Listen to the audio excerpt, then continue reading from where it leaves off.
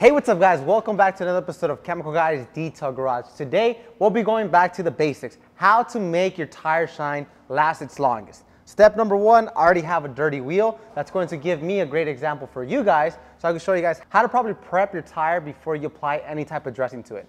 Before we get back into the video, make sure you're subscribed to our YouTube channel. We post videos every Monday, Wednesday, and Friday with full knowledge about detailing. So I already have my freeloader right here with all my arsenal I'll be using today. If you have not checked out our freeloader, I recommend you do so. It hooks up to your creeper dolly as well as your bucket so you keep your arsenal at your fingertips. So I have my masking tape and I'll just put a 50-50 down the line. So like this, I know which is going to be my control side and which is going to be the side I treated.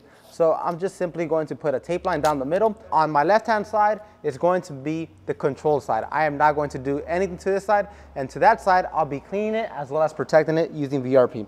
So let's get right into it. First of all, we're gonna need an all-purpose cleaner. In this occasion, I will not be using any type of water whatsoever. So this could be used around your garage, at the office, or any car show you're at. You just simply use these simple steps to dress your tires so you can make your tires look its best at all given times. So Nonsense Super Cleaner is an all-purpose cleaner that virtually works everywhere. Your engine bay, your interior, your exterior. You can use it anywhere as long as you dilute it to your needs. In this occasion, I'll be using full strength out of the bottle just because this is actually a spare tire and this spare tire has been sitting behind the car, because it is a RAV4, so it sits behind the car for the past two years. So we're gonna get Nonsense Super Cleaner and we're gonna get to the cleaning action. So I'll just spray it generously onto the surface of the tire and I'll let it sit there so it could start dwelling. And then I'll grab my nifty brush. My nifty brush has nylon bristles on it that's going to help me scrub out the dirt and gunk that is sitting on this tire.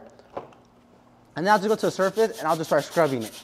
And you guys can see immediately the foam starts turning brown. The reason why it starts turning brown is because it's been years that this tire has gotten any love to it or any cleaning action to it. So this is why it starts turning brown. So we want to remove all the dirt, grime, and filth from the tire. So whenever I come back to apply a tire dressing, it's actually going to bond properly onto rubber and it doesn't bond on dirt. So just scrub it out. And if you need more nonsense, feel free to apply more nonsense. You could also use nonsense super cleaner when you have running water, but in this occasion, I do not have running water because we are actually inside the garage. So let me just finish scrubbing it.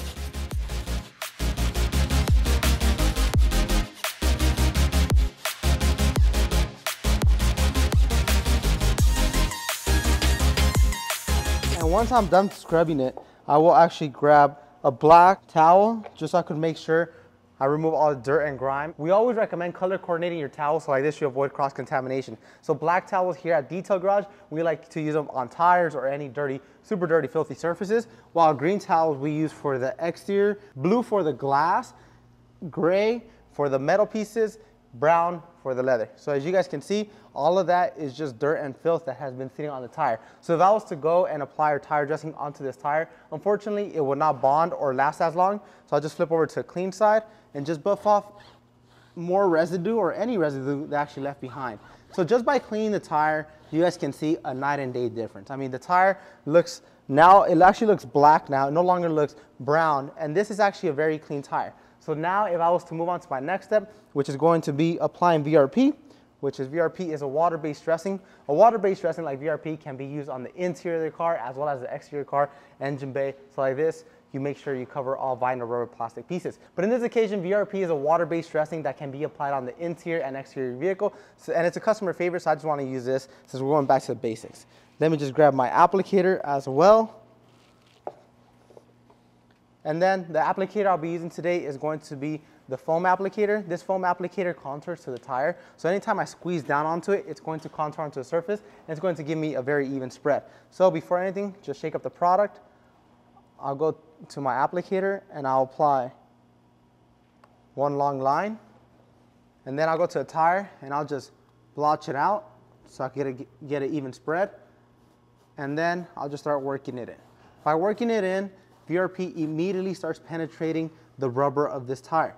And the rubber of this tire that is now clean, it's actually allowing the VRP dressing to adhere properly to the tire and is not going to fail over time. You can keep this in mind. If I was to just apply VRP onto the dirty area, it's not going to adhere properly to rubber, it's going to adhere onto the dirt. So after the dirt just wears off when you drive off, it's not going to work properly. So in this occasion, I'll be using VRP with nonsense super cleaner and I like to have my tires super shiny and I like to give it multiple coats. So that's why I applied a secondary line because I want to give it high amounts of coats. So like this, I ensure a very high shine and it will not fail over time. So just rub it on back and forth. And VRP, you can also control the level of shine. If you don't want a super high shine, just let it dry. It is dry to a touch. As soon as you apply it, it's complete dry to a touch. But if you want to just get a mild shine or more of a natural shine, just simply grab a clean microfiber towel and buff off any residue. So that you have a controlled level shine at your fingertips. So let me just make sure I work it in properly.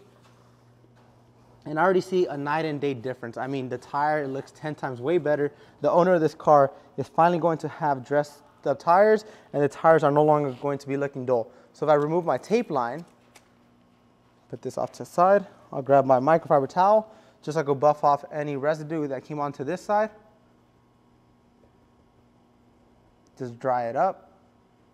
You guys can see a big before and after. This side is dull, neglected, and brown. Compared to this side, it is now lustrous black, it has a high shine, and nonetheless, it is also protected. So guys, if you guys want to pick up any of these products today that I use in this video, you can hop onto the website right now, chemicalguys.com, or stop by your local detail garage. I recommend you do so. We have over 85 detail garage locations across the globe, including Canada and the UK. As always, I'm Henry, and thank you for sharing your passion for shine with Chemical Guys.